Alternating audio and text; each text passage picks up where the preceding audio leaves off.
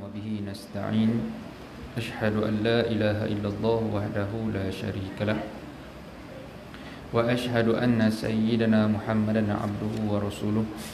اللهم صل وسلم وبارك على سيدنا محمد وعلى آله وصحبه وبارك وسلم. قال رب اشرح لي صدري ويسر لي أمري. ولن أقدة من لساني يفقه قولي. Amma ba' Muslimin dan muslimat yang dirahmati dan dikasihi oleh Allah Ta'ala Alhamdulillah Sama-sama kita memanjatkan setinggi-tinggi syukur kepadanya Di atas segala limpah dan rahmatnya kepada kita. Mudah-mudahan kita sentiasa berada dalam keadaan sehat walafiat Dan sehat tersebut digunakan pula kesihatan uh, untuk perkara-perkara kebaikan yang mendekatkan diri kepada Allah dan minta dijauhkan daripada tubuh badan yang sihat, akal yang sihat tetapi digunakan untuk melakukan kemaksiatan kepada Allah Subhanahu wa taala. Baik. Kita dah habis pada bab yang ke-6 kan. Kita nak masuk pada bab yang ke-7 kelebihan zakat dan hal-hal yang berkaitan dengannya. Uh, cuma saya minta bab ni kita postpone dulu. Sebab saya nak study sikit.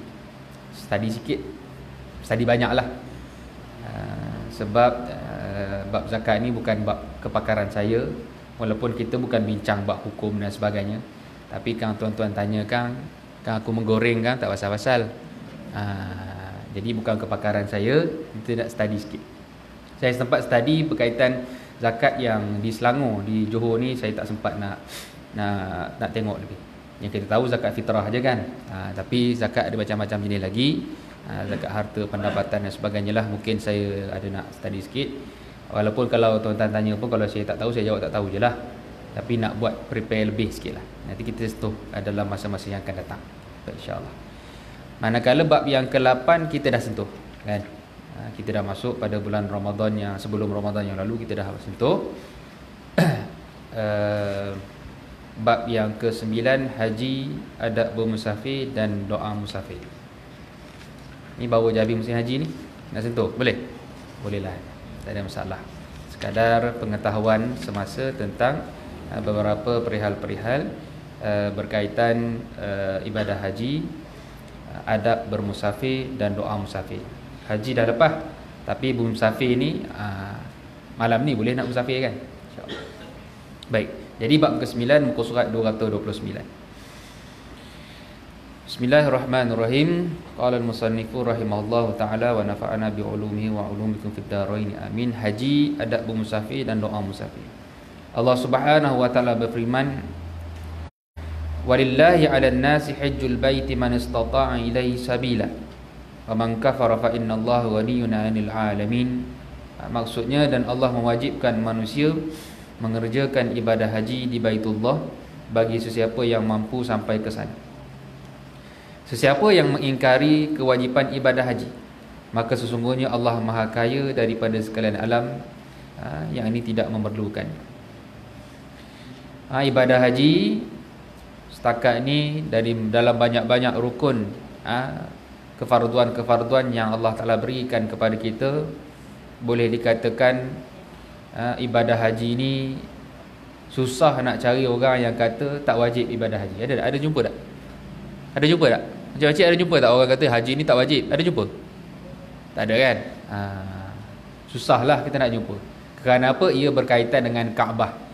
Ha, biasa yang berkaitan dengan Kaabah ni umat Islam seluruhnya sepakat ha, uh, semua uh, ada keinginan dan hasrat untuk ke sana. Cuma ada yang pergi dengan bermacam-macam tujuan. Ada satu hadis uh, dalam termasuk dalam uh, 40 hadis akhir zaman ada juga dimasukkan uh, antara tanda-tanda akhir zaman manusia yang mengerjakan haji ini dengan bermacam-macam sebab. Uh, saya tak berapa ingat detail dia tapi disebutkan orang yang miskin pergi haji sebab nak meminta sedekah. Kita nampak kan ada orang pergi sana minta sedekah kan. Orang minta sedekah kita bagilah. Tetapi dalam hadis menyebutkan orang pergi sedekah, uh, orang miskin ni pergi sana sebab apa? Dia tahu kat sana ramai orang. Dia nak pergi minta sedekah. Manakala orang kaya pula pergi haji untuk apa? Untuk berjalan.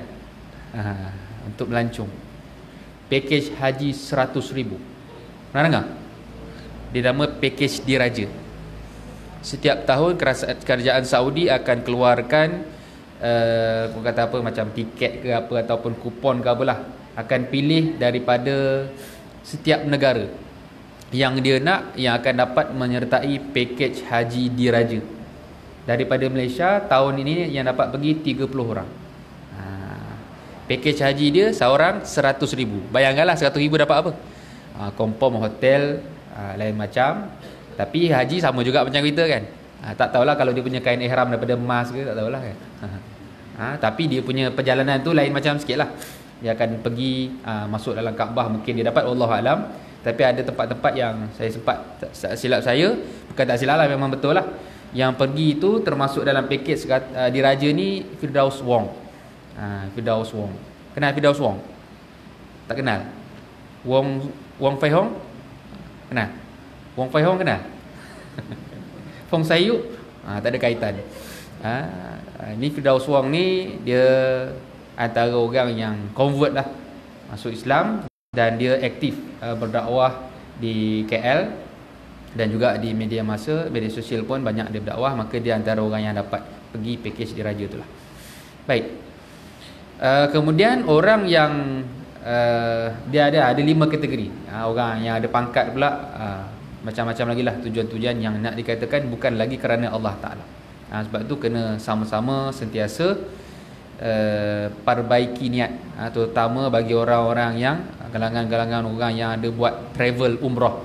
Uh, kena baiki niat somo-somo ada satu lagi kategori tak silap orang yang sederhana uh, menunaikan haji untuk keuntungan tak silap. Lebih kurang hari.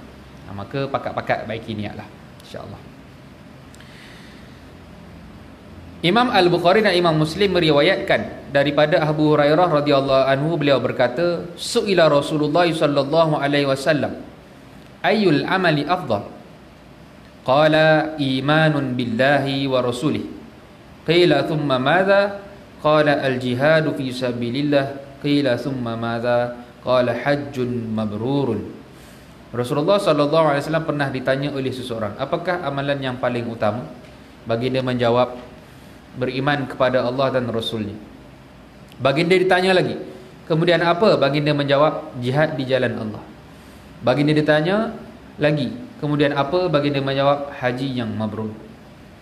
Imam Muslim meriwayatkan daripada Abu Hurairah radhiyallahu anhu beliau berkata khatabana Rasulullah sallallahu alaihi wasallam faqala ya ayuhan nas qad faradallahu alaikumul hajja fahujju Rasulullah sallallahu alaihi wasallam pernah berkhutbah kepada kami.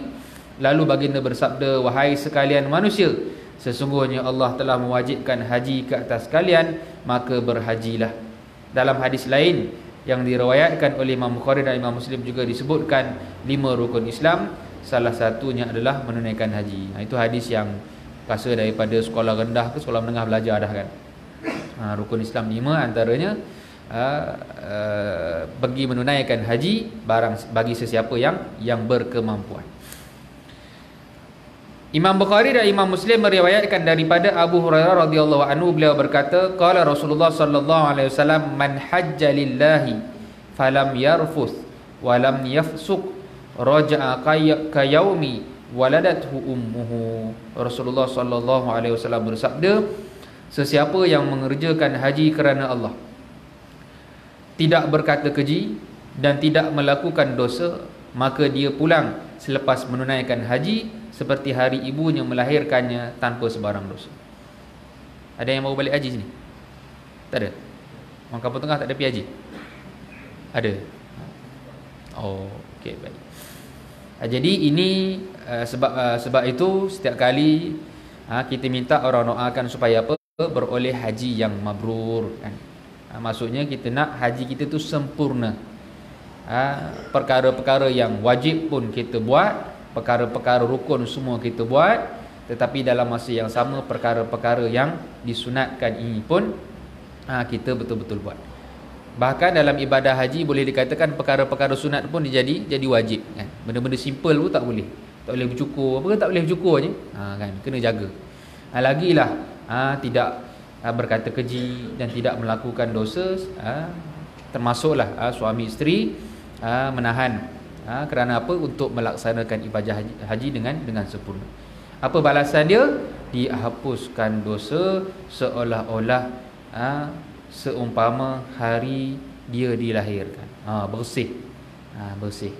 Ha, jadi itu ganjaran yang kita nak. Adahlah susah payah kumpul duit. Tunggu pula turn lama. Dapat pergi pula umur dah. Dah lewat. Dengan kederaknya tak ada. Ha, lagilah.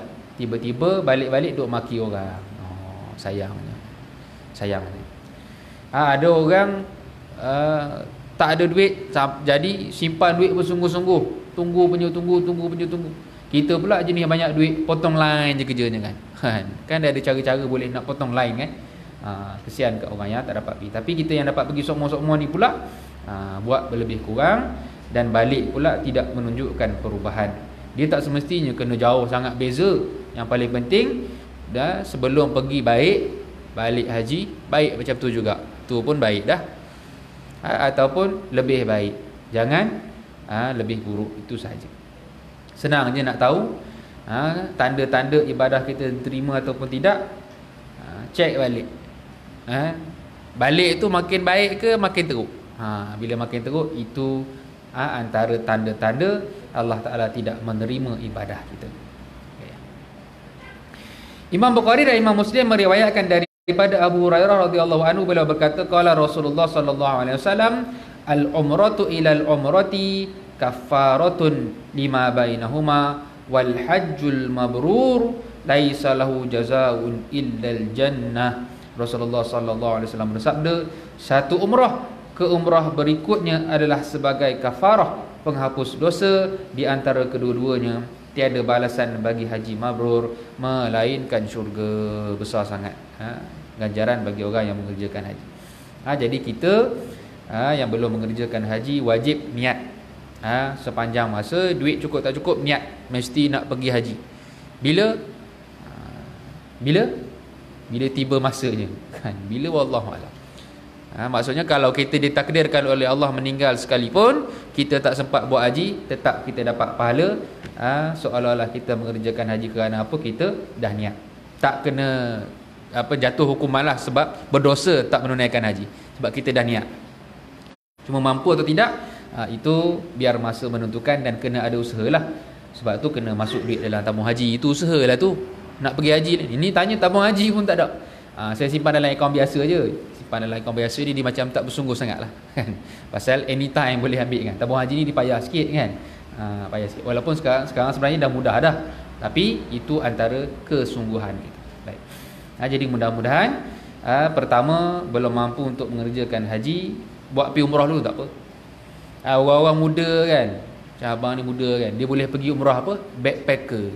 Cari umrah geng-geng orang-orang muda ha, apa dia selai sepinggang bawa setakat beg belakang tu je ha, ada rasa saya paling murah saya pernah tengok harga umrah backpacker ni tak sampai 3000 ada ataupun paling mahal pun rasa bawah 4000 lah kerana apa dia tak tak tak full package lah Hotel pun hotel jauh-jauh. Letak hotel tu just buat syarat je. Ha, orang muda kan. Ha, macam cik jangan buat pula. Ha, mabuk kan, lembik kan. Orang muda tak apa. Ha, hotel tu sekilo setengah. Oh, tu salah. Sekilo tu pun dah jauh sangat dah. Ha, baik.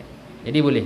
Yang paling penting kita pergi dulu tu nak dapatkan pengalaman ha, gambaran awal bagaimana suasana di Mekah di Madinah buat umrah dulu ha, dan lepas tu barulah kita dapat gambaran dan kita berdoa di sana supaya dapat pergi lagi untuk mengerjakan ibadah haji insyaallah baik adab bermusafir Imam Al-Bukhari dan Imam Muslim meriwayatkan daripada Ka'ab bin Malik radhiyallahu anhu anna Nabi sallallahu alaihi wasallam kharaja fi ghazwati Tabuk yaumal khamis.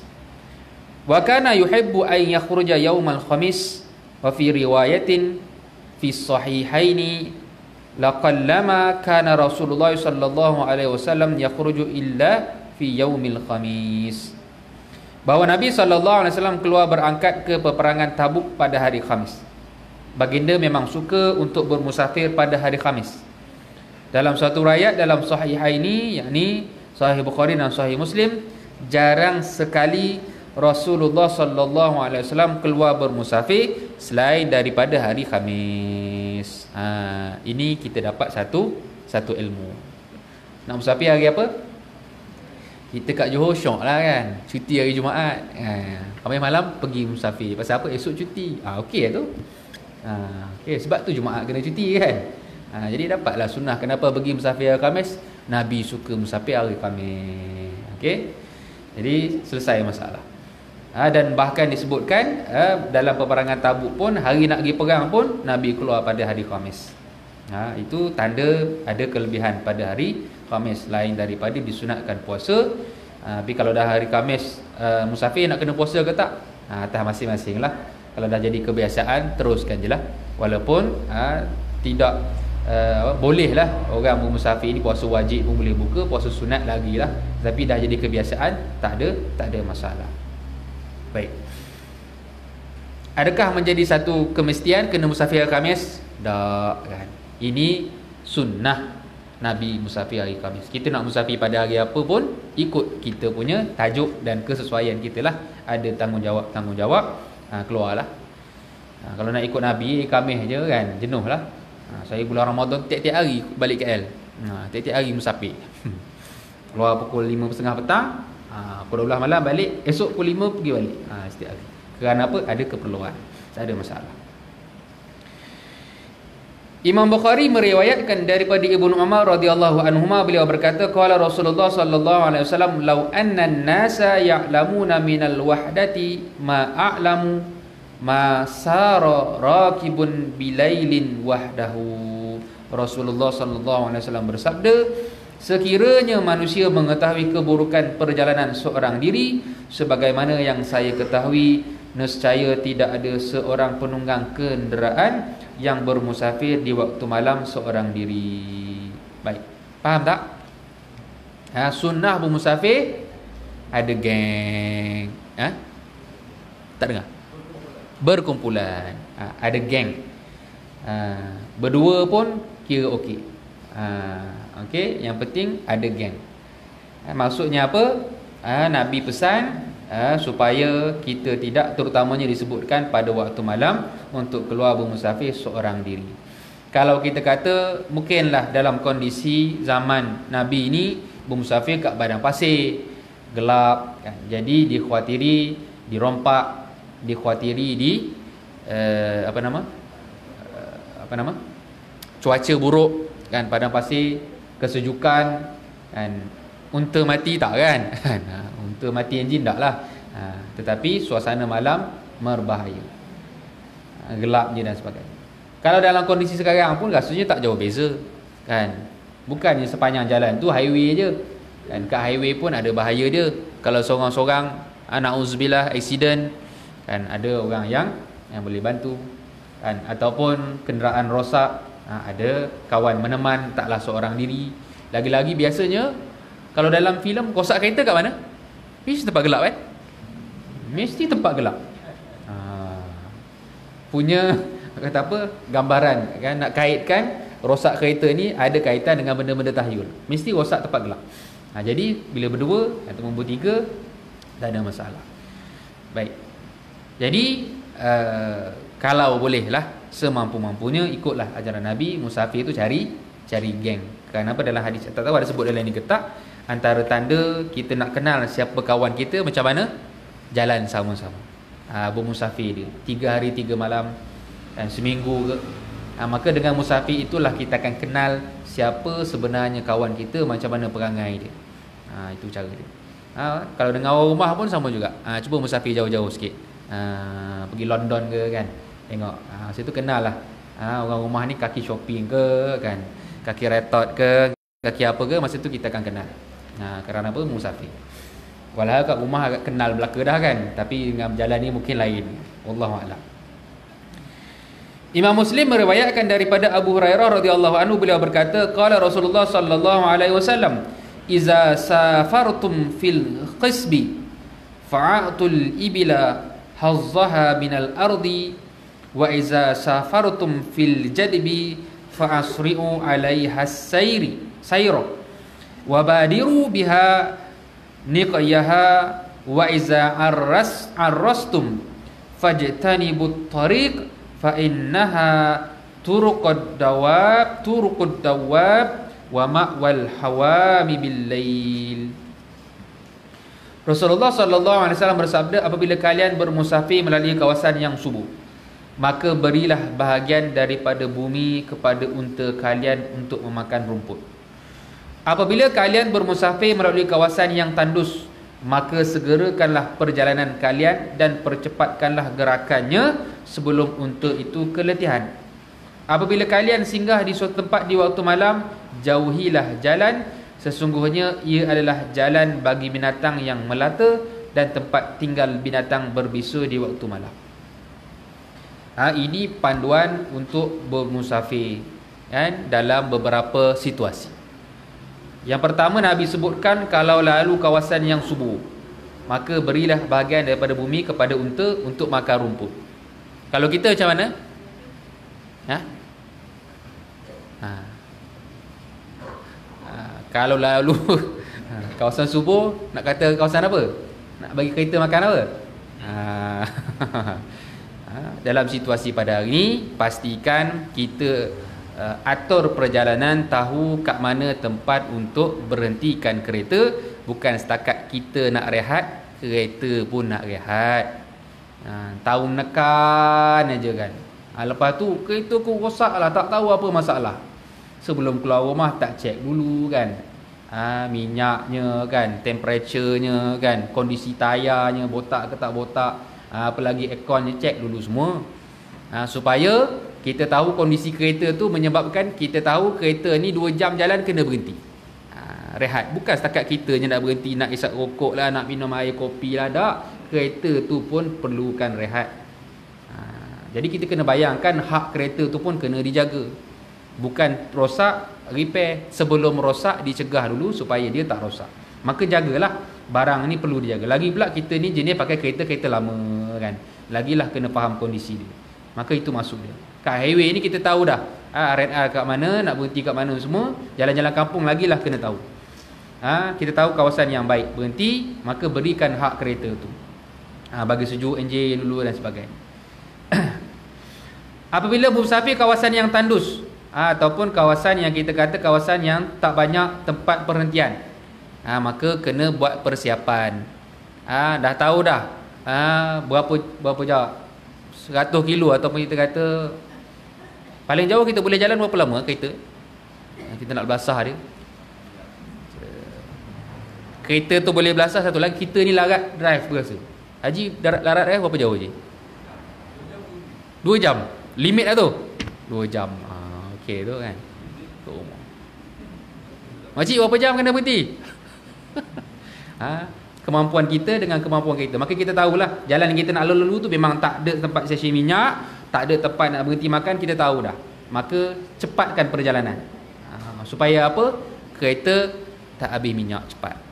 Tapi jangan bawa laju sangat. Kan? Sebab apa? Habis minyak cepat pun dia juga. 90 ke bawah. Ha, maksudnya jangan berhenti cepat kawasan pula kawasan berbahaya untuk berhenti lagi lah ha. Highway pun sama juga. Kalau kita dah tahu dah kan daripada Seremban nak ke air keruh tu jauh. Jauh. Maka berhenti kat Seremban siap-siap kan. Jangan nak tunggu air keruh jauh tu kalau orang tak biasa malam buat jalan straight kalau tak ada kereta dia dia mengantuk. Ada orang sebenarnya mengantuk ni jalan lurus. Jalan lurus. Saya kalau balik malam-malam yang tak tahan ni daripada keluar keluar apa nama tu? Uh, traffic light uh, dah dah masuk traffic light apa nama tu? Tangkap. Lepas keluar tol tu ada traffic light kan lepas, lepas sekolah tu kan. Ha, daripada situ tu nak sampai ke rumah tu. Lagi pula kalau nak sampai rumah mertua tu dekat Sungai Gersik tu. Hu, seksanya. Jalan lurus ni. Seksa je nak tahan mengantuk tu. Oh, bahaya. Ha, letih. Ha, jalan belok-belok ni bagus sebenarnya. Elok. Jadi kita faham. Ha, kalau dalam kondisi ha, uh, apa nama kita punya kenderaan maka kena tahu. ha? Dan disebutkan pula kalau berhenti di waktu malam kita bukan berhenti kat highway kita berhenti kat jalan-jalan kampung pastikan kita tidak berhenti di tempat-tempat gelap ha? kalau dalam ni dia bagi tahu jangan berhenti di di jalan maksudnya jalan pada waktu malam di padang pasir memang tu laluan binatang-binatang berbisa ha, kita pula uh, sebab itu kena tahu jugalah walaupun tapi masalahnya kalau tempat tu kita tak biasa pergi kena ada orang kata apa fikir sikit lah. Fikir sikit ha, berhenti tempat gelap kan. Kan bahaya kan. Tapi masalahnya ngantuk sangat. Tu yang masalah tu. Ha, jadi kalau dah ngantuk sangat berhenti tu ha, kunci kereta dan sebagainya. Itu pun ha, dia ada kaitan dia lah. Sebab tu jangan musafir seorang diri. Kan? maksudnya tempat yang berbahaya jangan berhenti. Tukar driver. Ha, tukar driver. Ha, saya kalau pernah pengalaman drive seorang-seorang paling lama dia dia ada timing-timing dia time semangat gaban dia boleh lama ha, saya pernah drive daripada pukul 12 tengah hari direct pergi ke Lipis ha, berhenti isi minyak je ha, kemudian daripada Lipis terus balik balik ke Muar daripada pukul 12 tengah hari sampai ke Muar pukul 1 pagi. Ha, straight tu. Ha, itu seorang-seorang bawa. Ha, ada geng pun dia duduk sebelah je. Ha, okay. Itu orang muda lah kan. Tapi kadang-kadang driver lori pun boleh tahan juga kan. Bukannya orang muda-muda pun. Ha, boleh. Jadi ha, ini panduan-panduan yang kita serasikan, sesuaikan dengan kondisi kita pada hari ini. Pasal kita tak naik binatang dah ha, tapi kita memahami binatang tunggangan itu adalah hak kepada kenderaan kita yang mesti kita kita beri walaupun kita larat kita boleh bawa 6 jam tapi jangan belasah kereta 6 jam tak boleh sian kereta ha, dia perlukan rehat mungkin kata Haji tadi 2 jam berhenti tu itu hak kita hak kereta pun mungkin 2 dalam 3 jam nekan je kan? Dia pun ada limit dia juga tak boleh. Baik. Kereta-kereta mewah pun walaupun kita kata dia punya ketahanan tinggi tapi jalan Malaysia ni tak berapa elok untuk dia. Kereta-kereta yang biasa mudah short circuit uh, BMW Mercedes Ferrari. Ha, ini kereta-kereta yang kalau dengar berita tu terbakar. Tiba-tiba terbakar ha, ini sebab apa mungkin antara sebabnya short circuit sebab jalan kita ni yang uh, yang teruk lah dia pula nak menekan je kan ha, rupanya akhirnya short circuit ha, ini kereta yang biasa terbakar tengah kat jalan jam pula ha, terbakar ha, kereta apa? Ferrari hmm, nasib lah Dah berjalan ada seorang kawan tu doktor kat rumah tengah-tengah malam. Ha, kereta terbakar depan rumah garaj. Oh, sebaik rumah tak ada apa-apa. BMW. Hmm, selamat. Baik eh. Imam Muslim meriwayatkan daripada Abu Qatadah radhiyallahu anhu beliau berkata, "Kana Rasulullah sallallahu alaihi wasallam iza kana fi safarin fa'arrasa bilailin id taja'a ala yaminihi wa iza arrasa qubaila subhi nasaba zira'ahu wa wada'a ra'sahu ala kaffi Apabila Rasulullah SAW berada dalam perjalanan bermusafir lalu berhenti berehat pada waktu malam baginda berbaring di atas lambung kanannya yakni mengiringkan badan ke kanan. Apabila baginda berhenti sebelum tiba waktu subuh baginda menegakkan lengannya lalu meletakkan kepala baginda di atas telapak tangannya Baik, ini juga merupakan satu satu sunnah yang Nabi buat. Berhenti uh, dan kalau perlu tidur tidur. Dalam keadaan kalau waktu malam baring ke kanan. Kalau waktu subuh tegakkan lengan. Macam mana tegakkan lengan? Lalu letakkan kepala baginda di atas telapak tangan. Ini tegak ke? Ah, ialah tegak kan. Ini kot. Ah. Sleeping beauty, eh? Jadi ini Eh, keadaan-keadaan yang Nabi ajar kaedah tidur. Kita pun mungkin dalam musafir biasanya kita tidur kat mana? Dalam kereta kan. Jadi boleh tidur macam ni ke? Ha, kalau dia balori boleh lah kan. Dia ada tempat dia kat bawah lori tu kan ataupun dalam bas tu kan. Ha, dia bentang dia baring. Kita jarang kita tidur kat surau. Jelah kita ada bawa barang-barang, telefonnya, duit nak tidur kat surau pun uh, risau juga. Jadi biasanya tempat kita tidur apa dia? ha, turunkan seat ha, baringlah ha, ataupun tidur begitu je kalau ada anak kat belakang tidur begitu je kan ha, jadi terpulang yang paling penting berehat ha, yang boleh kita tambahkan kalau tidur dalam kereta pasang aircon ha, pastikan tingkap buka sikit. Jangan buka banyak. Buka banyak memang selamat lah. Ha, bangun tidur tinggal steering je kan. Ha, memang tak boleh lah. Ha, buka uh, bagi supaya tidak terkena racun ha, daripada aircon. Takut kita tidur tu aircon bocor dan sebagainya. Nauzubillah lagi selamat matikan enjin. Ha, lagi selamat matikan enjin. Buka tingkap bagi udara cukup-cukup masuk je dan uh, kata apa selamat lah. Okeylah ha, jadi ni juga kaedah tidur yang diajar oleh Nabi. Kalau belah malam baring lambung kanan. Ha, kalau waktu uh, siang ialah siang ni mungkin orang nampak nak baring tak senonoh pula kan? Letak tangan begitu je. Macam mana ni tidur? Wallahu alam lah. Mungkin atas kenderaan. Wallahu alam. Para ulama mengatakan sesungguhnya baginda menegakkan lengannya adalah agar baginda tidak tertidur lalu menyebabkan solat subuh tidak dapat dikerjakan tepat pada waktunya atau di awal waktu. Maka itu tujuan dia. Ha, kenapa malam baring siang letak tangan je? Pasal takut langgar waktu waktu solat. Kita pun biasa kan ha, balik daripada musafir jam punya teruk lagi orang Kelantan kalau ada kahwin pula dengan orang Kelantan Terengganu kan 23 jam. Huh, dahsyat. Saya pernah pergi Cameron uh, cuti 3 hari je pun. Semangat kali pertama nak pergi kan. Tu dia tobat lah. Itulah kali pertama dan kali terakhir pergi dah. Tak pergi dah. Kan. Naik saja silap saya pergi 7 jam. 7 jam. Balik tambah sikit lagi. Ha? 9 jam tak silap. Tapi balik turun sedap lah kan. Ha, Free gear je naik tu. Kan?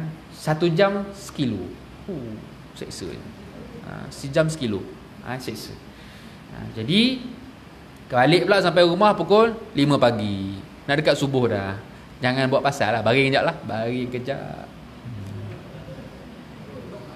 Ha.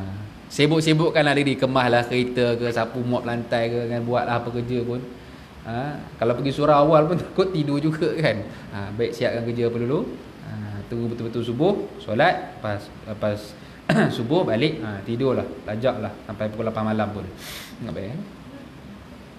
Jadi Itu tujuannya ha. Kita fahamlah Tujuan Nabi buat tu kenapa? Ha. Bukan uh, Keletak tangan ni Bukan ada kebaikan Wallah lah. Kalau ada tu Lain cerita lah. Ha, mungkin uh, orang-orang sayang tahu. Tapi tujuan dia apa dia? Bila tidur macam ni tersengguk tu kita uh, mudah mudah terjaga. Ha, itu tujuan dia. Jadi bolehlah praktik-praktikkan Imam Bukhari dan Imam Muslim meriwayatkan daripada Abu Hurairah radhiyallahu anhu. Anna Rasulullah sallallahu alaihi wasallam qala as-safaru qita'atun minal azab yamna'u ahadukum ta'amahu wa syarabahu wa naumahu fa idza qada ahadukum nahmatahu min safarihi falyu'ajjil ila ahlihi. Bahawa Rasulullah sallallahu alaihi wasallam bersabda bermusafir adalah sebahagian daripada seksaan kerana ia meletihkan ia menghalang seseorang daripada menikmati makan minum dan tidur oleh itu apabila seseorang daripada kalangan kalian telah selesai tujuannya pada perjalanan maka dia hendaklah segera menemui keluarganya. Tuan-tuan bila waktu kita tak boleh tahan marah? Bila? Bila? Orang lelaki? Ha? bila pegang steering? Betul tak bila pegang steering jam Oh, dia punya marah lain macam. Cuba tak pegang steering. Kita naik kereta duduk belakang ada apa? Tak ada rasa apa. Pegang steering. Ha, dia bila naik kereta ni marah. Ada orang lintah tiba-tiba kan. Oh, masa tu susah nak tahan marah kan. Dia punya marah bila bawa kereta ni lain macam sikit kan. Ada je benda. Kereta sebelah buat hal ada je kan. Kita punya merapu-merapu kan. Panjang merapunya. Kan? Ha, maka memang betul pun. Kan? Bermusafir itu adalah azab. Memang meletihkan ha, sebab tu bawa kereta kena kena sandar. Kalau tak ni kan boleh kena stroke. Ha, ni. Bila kerah kat sini ni maksudnya apa? Stres. Ha, stres ni biasanya sebab apa? Ngadap komputer ha, bawa kereta. Ha, ni keadaan stres. Ha, jadi memang penat. Sebab tu balik rumah ha, bertemu dengan ahli keluarga mudah-mudahan hilang penat kita. Sebab tu benda pertama balik jumpa siapa dulu? Jumpa ahli keluarga dulu. Eh, Jangan jumpa kawan-kawan dulu. Eh, Orang lelaki balik Eh jom kata Jumpa keluarga dulu Jumpa isteri Jumpa anak-anak dulu Hilangkan kerehatan Ataupun Jumpa jumpa ahli keluarga sebab apa? Yang urut sikit. Ha, Penat kan? Penat. Ha, Itu ha, biasanya orang perempuan pun kena faham bahawa musafir ini bawa kereta ini memang meletihkan. Ha, kan ada ada satu kumpulan dia buat video kan. Sepanjang perjalanan daripada rumah sampai nak balik kampung raya ni kan oh, suami bawa kereta orang rumah sebelah tidur je kan. Bila dah sampai rumah ni orang lelaki ni nampak katil dia nak baring lah kan. Dia nak baring je orang rumah kata apa? Abang ni ha, tahu nak rehat je. Tolonglah kita kat dapur. Ha, ini isteri yang tak faham bahawa bawa kereta tu meletihkan. Dia kena fikir macam-macam. Dia kena tengok kiri tengok kanan tengok depan kan. Tengok cuaca lagi nak tahan mengantuk lagi kan.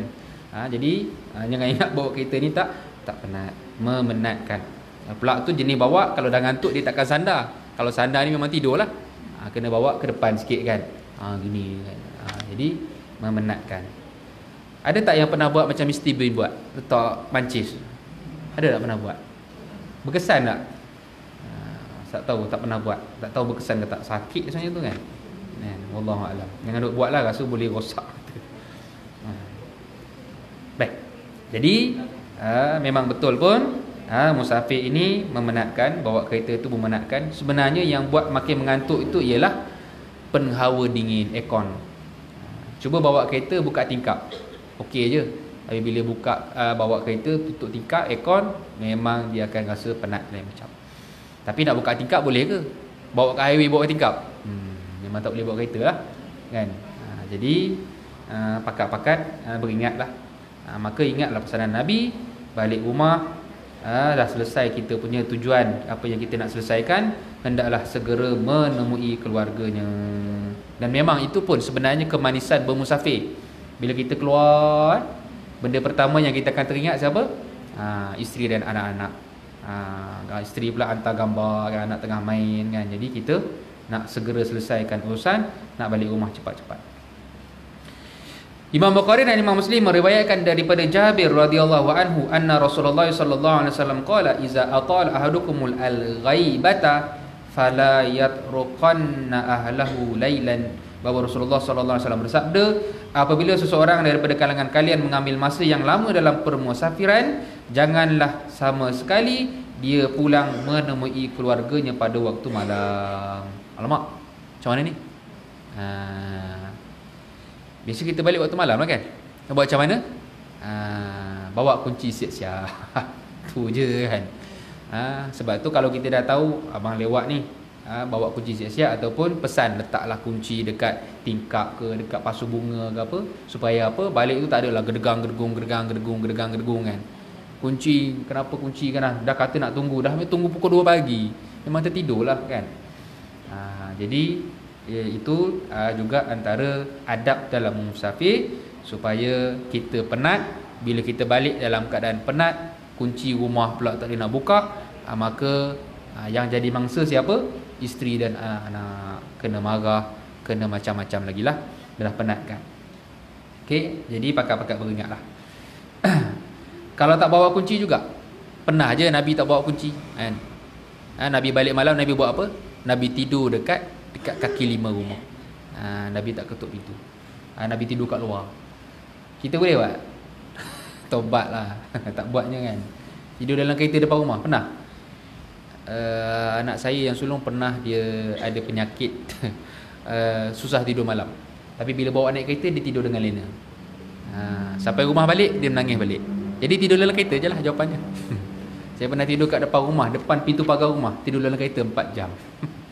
ha, punya nak raikan anak tak boleh ha, itu pengalaman eh Imam Bukhari dan Imam Muslim meriwayatkan daripada Anas bin Malik radhiyallahu anhu beliau berkata kana Rasulullah sallallahu alaihi wasallam la yatruku ahlahu lailan wa kana ya'tihim ghudwatan aw ashiyatan. Ada Rasulullah sallallahu alaihi wasallam tidak pernah pulang menemui keluarganya pada waktu malam, biasanya baginda pulang daripada bermusafir menemui mereka pada waktu pagi atau atau pada waktu petang, waktu yang orang yang orang adalah tak tidur. Maka cubalah rancang perjalanan. Tetapi sekiranya memang dah memang jadi juga pada waktu malam nak buat macam mana? Ha, maka buat persiapan supaya tidak mengganggu ahli keluarga yang yang tidur pada waktu malam. Lainlah kalau memang dah uh, seminggu sebulan tak balik memang sampai malam juga ha, itu confirm lah orang rumah tunggu punya lah jangan risaunya lah. Ha, dia takkan tidur punya dia akan tunggu juga. Ha, melainkan orang rumah yang tak kisah lantak lah Imam Bukhari dan Imam Muslim meriwayatkan daripada Ka'ab bin Malik radhiyallahu anhu anna Rasulullah sallallahu alaihi wasallam kana iza qadima min safarin bada abil masjidi faraka'a fi rak'atain bahawa apabila Rasulullah sallallahu alaihi wasallam pulang daripada bermusafir baginda singgah di masjid terlebih dahulu lalu mengerjakan solat sunat dua rakaat di situ. Yang ni kita tak biasa didedahkan. Nah mungkin ini pun saya pun kali pertama baca jumpa. Tak biasa kita dia nak sampai rumah kita singgah masjid solat sunat dua ada yang buat Biasanya sebelum keluar rumah musafir tu kita solat dua rakaat kan. Kita biasa begitu. Lagi-lagi kalau nak musafir jauh, sebelum keluar rumah tu azan pula kan. Ha, tapi jarang kita dengar bila kita balik ha, daripada musafir singgah kat masjid untuk solat sunat dua rakaat di situ. Ada kita buat? Tak kan? Sampai rumah sampai rumah jelah terus kan. Ada yang biasa buat? Haji pernah buat? Tak ada kan. Nak tanya? Ha.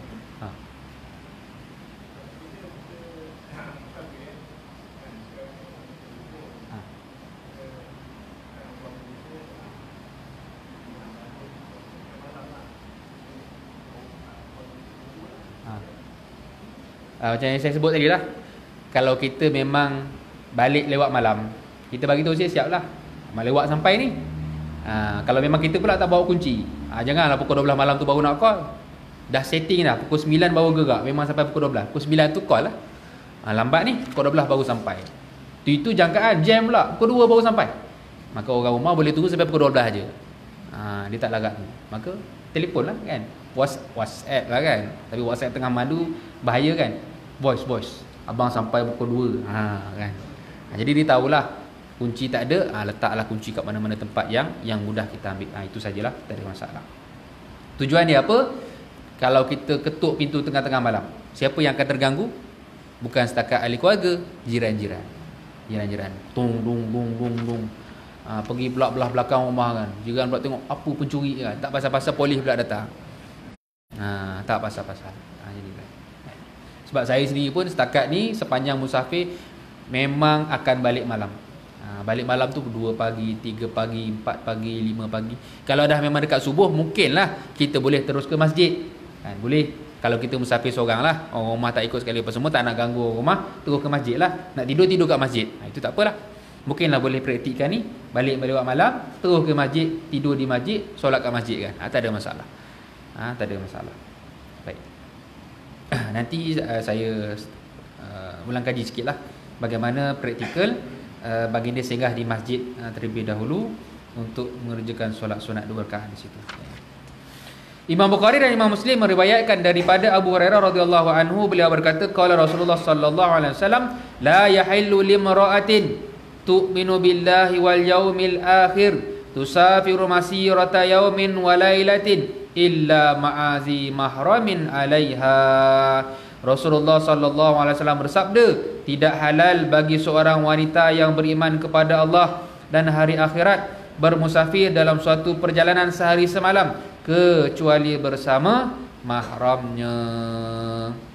Ha, yang ini juga merupakan satu topik yang panjang lebar dibincangkan oleh para ulama dalam tajuk safar mar'ah permusafiran seorang wanita, seorang perempuan. Ha, kerana apa? Antara hadis inilah ha, yang kuat menunjukkan orang perempuan tak boleh berjalan seorang-seorang. Tak kira lah bawa kereta ke bawa motor ke, seorang-seorang bermusafir kita fahamlah jarak jauh lah dua marhalah sekurang-kurangnya seorang diri. Nak keluar berjalan jauh mesti ada orang yang meneman dan yang meneman itu bukan awexnya ataupun ha, orang kata powernya orang yang ha, ada kaitan darah dengan dia lah hubungan kekeluargaan dengan dia. Ha, lagi kita nak pergi pergi mana berjalan dekat London kan? Ha, memang kena bawa lah suami ke anak ke. Kalau pergi Mekah ni tak payah cerita dah. Pasal apa? Dah memang diwajibkan kena ada kena ada uh, peneman. Itu pun 45 tahun ke bawah. 45 tahun ke atas tak diwajibkan dah maka ada perbincangan. Pasal apa? Zaman uh, Sayyidina Abu Bakar ataupun di hujung-hujung zaman Sayyidina Abu Bakar. Uh, seorang sahabat Allah Subhanahu Sayyidina Muhammad uh, lupa pula nama dia. Seorang sahabat yang dia asal Kristian dia masuk Islam dia masuk Islam tu antara benda yang Nabi janjikan kepada dia akan ada orang yang bermusafir seorang perempuan bermusafir daripada Parsi ha, daripada Iran dah sampai ke Mekah seorang diri dalam keadaan selamat. Dia pernah tengok. Ha, dia pernah saksikan janji Nabi itu ha, sebelum dia meninggal. Maka ada perbincangan yang panjang lah. Para ulama kat Mesir pun memang biasa bahas panjang orang perempuan pergi keluar sebab nak menuntut ilmu kan. Orang perempuan nak pergi menuntut ilmu kan. Siapa nak teman dia? Takkan mak ayah nak pergi sana teman dia kan. Ha, maka ada perbincangan-perbincangan. Tapi secara asasnya kita faham begitulah. Kalau orang lelaki pun disunatkan musafir ada geng, lagilah orang perempuan dalam suasana sekarang ha, dalam suasana yang orang sentiasa mengambil kesempatan terhadap orang perempuan. Dia orang lelaki yang jahat ni dia dia tahu fikir otak perempuan, dia tahu. Orang perempuan ni memang uh, orang kata apa? Dia kurang berjaga-jaga. Dia kurang berjaga-jaga dan kalau dia berjaga-jaga pun dia dia lemah dalam nak buat tindakan. Maka sentiasa ada. Berhenti pula akan NR kan. Waktu-waktu yang getir kan. Orang duduk kat luar kereta ni tengok seorang jalan ha, maka akan ada yang ikut nanti tu ha, jadi kena beringat ah, habis dah baik dah isyak belum oh lemak ha, tak azan lah lepas tu berhenti cukup lah dah. Cukup lah eh. Banyak-banyak. Ok insyaAllah. Ha, inilah beberapa perkara adab dalam musafir. Ingat jadi ingatkan saya nanti tajuk yang berkenaan Uh, singgah uh, di masjid terlebih dahulu sebelum sampai uh, ke rumah. Ini uh, bukan perkara yang biasa ha, kita di tanah air kita buat sunnah ni. Bahkan ha, mungkin ini ha, kita baru baca dan sebelum-sebelum ni pun tak ada pun kita fahamkan begitu. Kalau ada pun kita dah nak dekat sampai mukim kita ha, jadi sebelum masuk kita punya mukim tu kita pergi singgah masjid untuk kita solat jamak uh, kasar ha, itu biasalah. Tapi semata-mata kita dah selesai jamak kasar dan nak sampai rumah kita singgah masjid dulu solat dua rakaat kita tak menjadi pengamalan kita. Nanti kita ulang kaji lagi insyaallah. Jadi sekat itulah perkongsian pada malam ni. Wallahu a'lam assalamualaikum warahmatullahi wabarakatuh. Subhanakallahumma وبحمدك أشهد أن لا إله إلا أنت أستغفرك وأتوب إليك. بسم الله الرحمن الرحيم. العصر إن الإنسان لفي خسر الذين آمنوا بالصالحات وتواصوا بالحق وتواصوا بالصبر. ربنا ربنا آتنا في الدنيا حسنة في الآخرة حسنة وقنا عذاب النار. ربنا زدنا علما نافعا ورزقنا فهما واسعا اللهم فقنا في الدين وعلمنا تأويله من صراطك المستقيم. صراط الذين أنعمت عليهم من النبيين والصديقين والشهداء والصالحين. وحسن أولئك رفيقا يا أرحم الراحمين. صلى الله على خير خلق محمد وعلى آله وصحبه وسلم. والحمد لله رب rabbil alamin taqabbalallahu minkum. Akan datang kita habiskan dulu sikit lagi ni kemudian baru kita akan masuk uh, bab zakat insyaallah. Allah